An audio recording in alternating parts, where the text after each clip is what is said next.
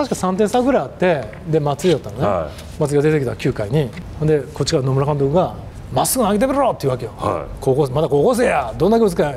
投げろ!って分かりましたって。まっすぐサイン出すわけよ。高津が嫌だって言うわけ。打たれたやから、自分も初セーブかかってるし、嫌ですいやまっすぐ言うてんねんまっすぐ投げてくれってまっすぐって言ってでま嫌です嫌ですってわけ。よで俺こっち見たら野村監督目で怒ってるからまっすぐ投げろ言ってるやろみたいな松井もこうしながら聞こえてるわけよダメじゃないですかこうやって目の前やから野村監督怒ってんのなんかで「まっすぐ投げろ!」とか言ってタイム取ってマウンド行ってで高津に「頼む」ともう監督が言ってるから点数あるし